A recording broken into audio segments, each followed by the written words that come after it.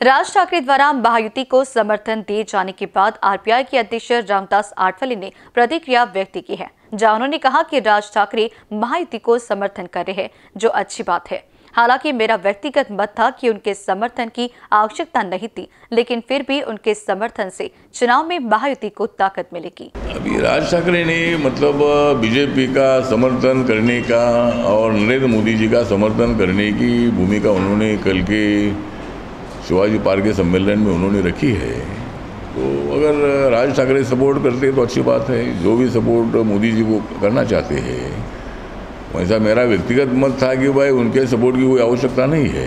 लेकिन उसके बावजूद भी अगर वो सपोर्ट दे रहे हैं तो और भी हमको हुटिंग में तो ज़्यादा बढ़ोतरी हमको मिलेगी अगर राज ठाकरे जी सपोर्ट कर रहे तो, तो अच्छी बात है राज ठाकरे सपोर्ट कर रहे तो। लोकसभा सीट